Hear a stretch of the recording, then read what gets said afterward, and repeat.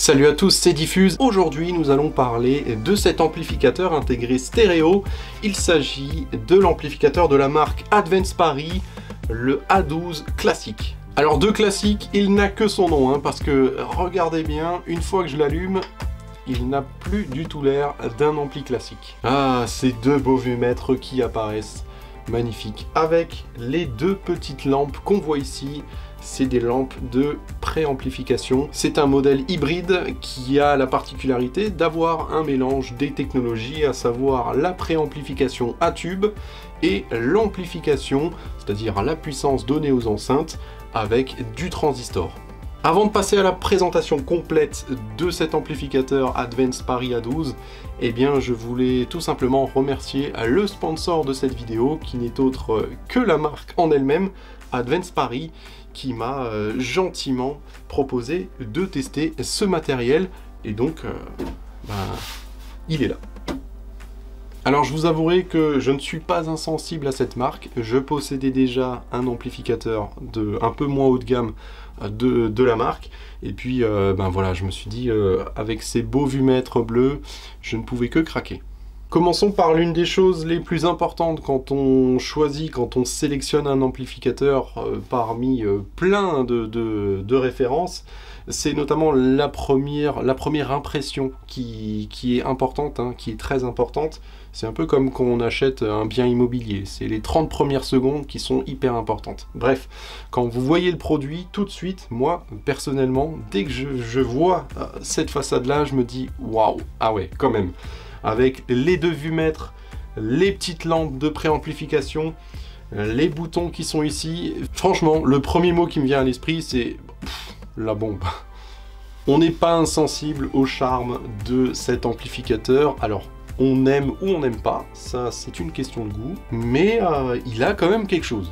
L'impression d'un bon ampli commence déjà par l'emballage et le soin apporté au packaging. Et là, j'ai rien à dire, packaging vraiment très classe, un carton blanc estampillé Advance Paris avec à l'intérieur du polystyrène qui vient vraiment solidifier et maintenir l'ampli qui est euh, fourni dans une petite, regardez, ça c'est génial, dans une petite housse, voilà, ça c'est la housse de l'amplificateur et vraiment bah, assez surpris de la qualité d'emballage et de, conditionnement de l'amplificateur. Ça commence donc par une très bonne impression dès qu'on ouvre le carton. Tout d'abord, ses dimensions. Il fait à peu près 45 cm de large, 45 cm de profondeur et 19 cm de hauteur. Et 18 kg sur la balance, donc vraiment sur l'aspect physique, il en impose. Sur la façade avant, on retrouve eh bien, les deux vumètres qui sont cachés par une grosse plaque de verre synthétique noir euh, qui laisse vraiment euh, bien transparaître les deux vumètres et puis les lampes de préamplification. Les vumètres servent à savoir en temps réel eh bien, combien vos enceintes consomment-elles en termes d'énergie, en termes de watts. Donc ça permet simplement de voir si on est au taquet euh, de l'amplificateur ou alors si on peut pousser un peu plus le volume. Croyez-moi que pour arriver au bout, il faut arriver à un certain niveau sonore et on peut pousser le volume assez fort, hein. ça je peux vous l'assurer.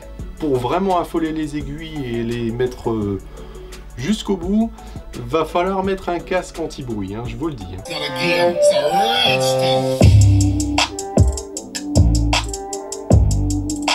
On retrouve un bouton de volume qui sert en même temps de bouton multifonction, c'est-à-dire qu'on peut rester appuyé dessus et puis rentrer dans les menus. Euh, il y a pas mal de menus qui sont disponibles, donc ça c'est pas mal. On retrouve un bouton de sélection qui permet de changer euh, les sources analogiques. L'autre côté, les sources numériques. Et puis après, bien entendu, on a une petite télécommande, enfin petite, elle est plutôt grande, avec un format euh, très bien, moi je trouve. C'est un beau format, avec euh, toutes les fonctionnalités dessus pour pouvoir euh, utiliser eh bien l'amplificateur. On retrouve même des fonctions qui permettent de piloter un streamer, un lecteur CD ou autre de la même marque, voilà, pour rester, pour avoir qu'une seule télécommande, et ça je trouve très pratique parce qu'au moins on n'a pas 10 000 télécommandes, on n'en a qu'une seule. Mais pour cela, il faut avoir eh bien, des, sources qui sont de la même marque l'amplificateur. Pour celles et ceux qui écoutent aussi au casque, eh bien l'ampli possède deux entrées directement en façade, l'un étant jack 6.35 et l'autre étant mini jack. Regardez, quand je l'allume, on a un petit compteur qui s'affiche ici, qui va préchauffer le système, il va préchauffer les lampes. On a environ 30 secondes avant que l'ampli soit totalement euh, utilisable et on peut euh, commencer l'écoute. Cet ampli Advance Paris A12 classique est au prix de 2690 euros. Certes, c'est une somme, mais vous allez le voir par la suite, il les vaut largement. Les informations qui sont notées sur la façade avant sont vraiment très claires. On a des signaux de protection R et L pour les enceintes droite et gauche qui nous permettent de savoir si l'ampli est en protection, s'il a un défaut, s'il a un souci. Euh, nous avons le, petit voyant du High. Alors le High c'est quoi? C'est une fonctionnalité qui se trouve sur cet appareil et sur d'autres appareils de la marque. Le mode High haute tension de polarisation, permet de se rapprocher d'une écoute en circuit de classe A en termes d'amplification. Ce mode-là dégage beaucoup de chaleur, donc attention si vous avez mis votre amplificateur dans un meuble fermé ou alors un meuble qui n'a pas la possibilité de respirer sur les côtés ou sur le haut, il faudra faire bien attention malgré que l'amplificateur soit bien, euh, refroidi hein, par ses grilles, par sa, technique à l'intérieur, et eh bien ce mode est un peu plus générateur de chaleur. C'est vraiment très sympa et ça permet d'avoir plus de détails et plus de richesse. Vous pouvez bien entendu désactiver cette fonction pour uniquement utiliser le circuit classe AB. Cet amplificateur Advance Paris A12 classique bénéficie vraiment d'une alimentation généreuse, 2 fois 190 watts sur 8 ohms, et euh, jusqu'à 2 fois 280 watts sur 4 ohms. Il peut vraiment alimenter des enceintes très gourmandes, à savoir euh, par exemple des grosses enceintes colonnes avec beaucoup de haut-parleurs. Eh bien je pense que c'est un ampli taillé pour vraiment les grosses enceintes.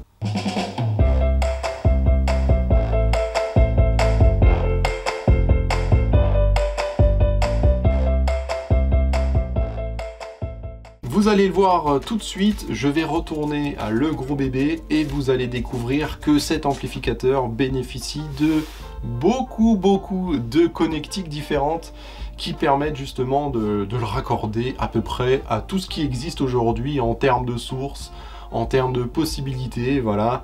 On va en discuter tout de suite. Allez, c'est parti Vous avez vu cet arrière-train? Vraiment, il est hyper complet avec les borniers des enceintes, bien entendu, gauche et droite. Alors il y a quatre borniers par côté parce que vous pouvez mettre jusqu'à deux paires d'enceintes simultanées. C'est-à-dire que vous pouvez écouter sur une paire d'enceintes ou sur les deux en même temps. Donc vous pouvez choisir A ou B ou alors A plus B. Il propose un DAC intégré, deux entrées HDMI, dont une qui est compatible ARC, ce qui est euh, pas mal pour par exemple brancher votre téléviseur et pour récupérer le son de votre téléviseur directement sur l'amplificateur. Donc ça c'est un très très bon point. C'est ce qui le distingue vraiment des autres amplificateurs stéréo classiques qui ne possèdent pas d'entrée numérique. Et donc pour ces amplis qui sont euh, dénués de DAC intégrés, il faut passer par un streamer ou un DAC euh, qui permettent justement de transformer le signal numérique par exemple le signal de votre télé, de votre lecteur Blu-ray, euh, et de le transformer en analogique pour justement le brancher sur une entrée analogique. Euh, c'est les, fameux, les fameuses connectiques rouges et blanches qui sont ici. Mais sur ce modèle, il n'y en a pas besoin parce que tout est déjà intégré. De l'HDMI, du coaxial, de l'optique. Euh, il y a quoi encore? Il y a même des entrées EAS EBU qui sont assez spécifiques pour les DAC euh, assez haut de gamme. Vous avez aussi des entrées XLR pour brancher une source dessus, un lecteur CD qui possède euh, des, bah, des connectiques XLR. Ce modèle possède deux entrées XLR. Ensuite, on retrouve aussi eh bien, toutes les entrées analogique, à savoir euh, auxiliaire, CD. Si vous avez par exemple un tuner ou une platine CD à brancher, eh bien vous pouvez le brancher directement sur euh, les entrées analogiques.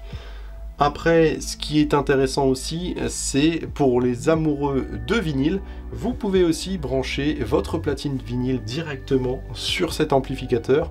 Il possède une entrée phono.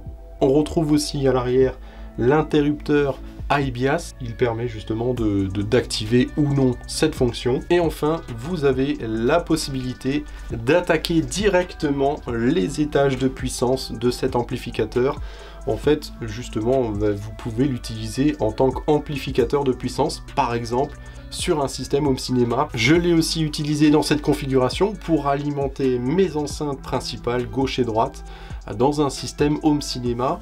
Donc euh, j'ai juste utilisé la partie amplification de puissance. Pour cela, bien entendu, il faut un amplificateur home cinéma compatible avec des sorties pré-out qu'on vient juste rentrer dans les entrées amp in de l'amplificateur. Ensuite, on va dans les menus, on lui dit simplement de ne plus utiliser la partie préampli et c'est utilisé comme un simple ampli puissance. On a parlé des entrées, alors maintenant parlons des sorties avec des prises XLR pré-out qui permettent justement de raccorder par exemple un amplificateur de puissance si vous trouvez qu'il est euh, trop léger en termes d'alimentation, ce que je pense pas, euh, vous pouvez lui raccorder un amplificateur de puissance dessus et utiliser uniquement la partie préamplification et DAC de cet appareil là. Ces sorties sont disponibles en XLR et aussi en RCA. Ah, je vous avais prévenu hein, qu'il était complet. Hein. Alors on continue avec des sorties subwoofer. Vous pouvez brancher deux caissons de basse directement sur les deux sorties sub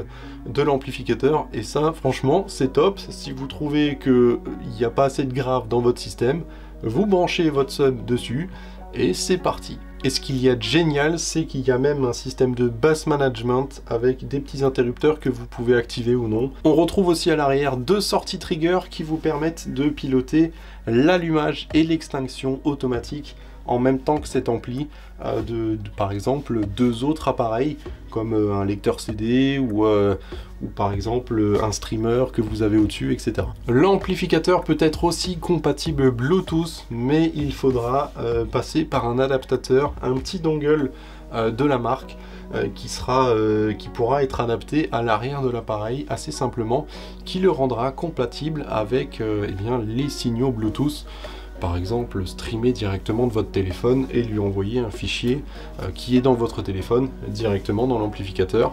C'est assez pratique. Si vous souhaitez avoir un streamer intégré dans l'amplificateur, eh bien il faudra peut-être opter pour un autre modèle de la marque à savoir peut-être euh, dans la gamme MyConnect, qui possède eux des streamers intégrés dans l'amplificateur afin de pouvoir vraiment avoir un seul appareil qui fasse tout. Par exemple, le bon gros MyConnect 250 qui est une pure merveille. Et eh bien après plusieurs semaines d'utilisation, il est temps de mettre un peu les points sur les i et de faire euh, un petit compte rendu de mon utilisation sur, euh, sur cet amplificateur intégré Advance Paris A12 classique. J'ai pu l'utiliser pour alimenter un système assez haut de gamme avec des enceintes acoustiques quand même très très grandes et assez gourmandes et je peux vous dire qu'il s'en est sorti vraiment haut la main avec une amplification très généreuse et il n'a pas eu du tout de mal à, bah, tout simplement à alimenter ses enceintes malgré qu'elles soient gourmandes Vraiment, j'étais euh, assez impressionné. Euh, même je regardais l'aiguille, je me disais mais attends, il faut pousser encore plus haut le, volume, c'est pas possible. Il a vraiment une, pêche, une réelle énergie qui se dégage de cet amplificateur. Ça pousse bien, ça bouge bien. Et euh, il y a un dynamisme assez dingue, même à fort niveau ça sature pas, vraiment, les watts y suivent, il n'y a aucun problème de ce côté-là. Mes sources étaient principalement du streaming, et de l'autre côté, j'avais aussi une platine vinyle qui était branchée pour justement tester un peu l'entrée phono de cet amplificateur. Ensuite, je l'ai utilisé en configuration chez moi, directement ici, euh, vous le voyez, en configuration home cinéma et en configuration stéréo.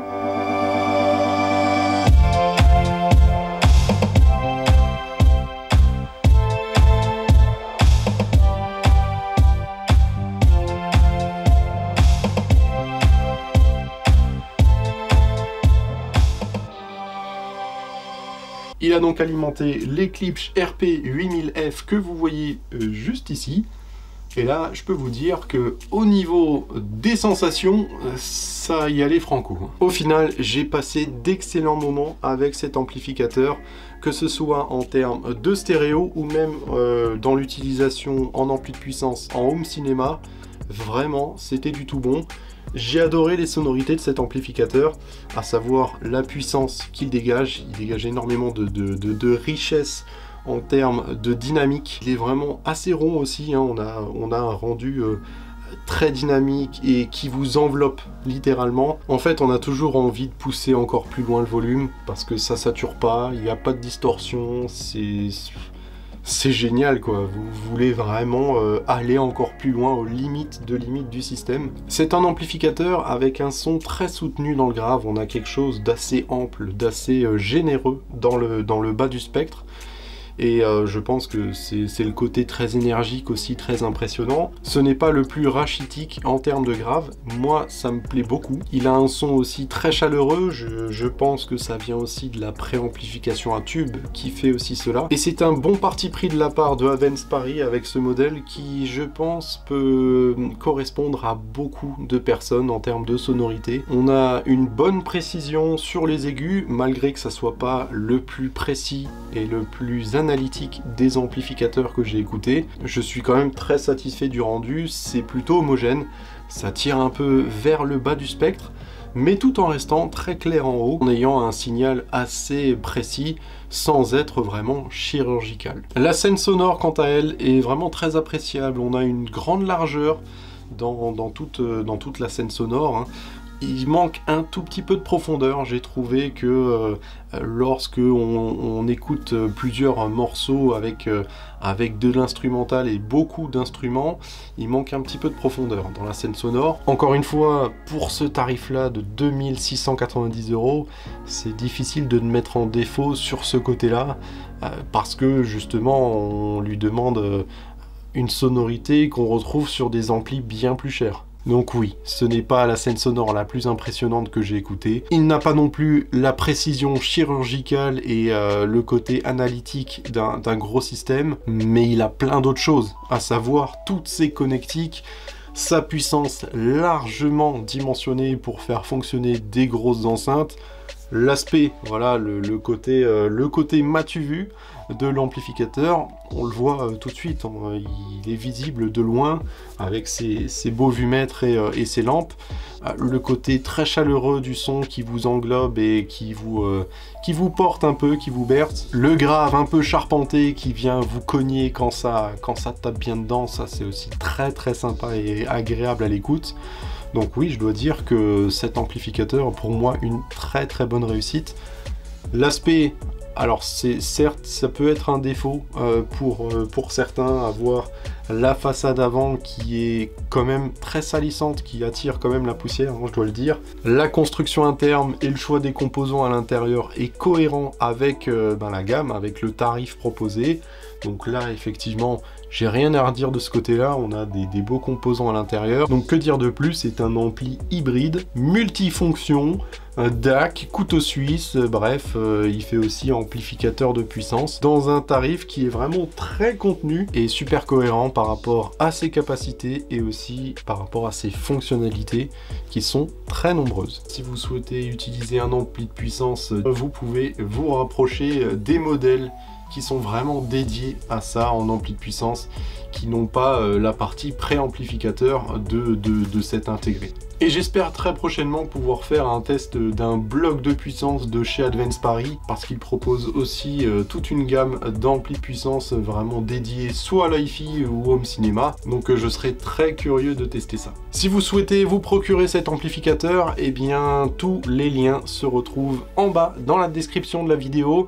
Vous y trouverez tous les liens pour euh, faire vos achats. Et puis vous pourrez retrouver ces beaux vumètres directement chez vous. Ce serait pas mal ça, hein, vraiment. Bon, et bien voilà, on est arrivé au bout de la vidéo. J'espère que ça vous a plu, que vous en avez appris un peu plus sur ce produit, sur cet amplificateur Advance Paris A12 classique. C'est toujours un plaisir de vous présenter de nouveaux produits et puis de découvrir aussi euh, bah, de nouvelles marques et puis de nouvelles sensations. Vraiment, c'est euh, comme si je, chaussais euh, des nouvelles chaussures. elles font mal un peu au début et puis après, eh bien, elles se détendent et, c'est comme des chaussons aux pieds. Je remercie Advance Paris, le sponsor de cette vidéo, qui nous a permis euh, bah, justement de vous montrer euh, la bête. Et puis je vous remercie vous de m'avoir suivi tout au long de cette vidéo. Quant à moi, je vous retrouve très bientôt dans une nouvelle vidéo. J'espère que ça va vous plaire, tout ce que je vous ai réservé pour la suite. Et pour suivre tout ça, je vous invite à vous abonner à la chaîne et à mettre un petit like si vous avez aimé cette vidéo. Comme on dit chez moi, salut Bissam. Allez, fais péter les watts. Wouhou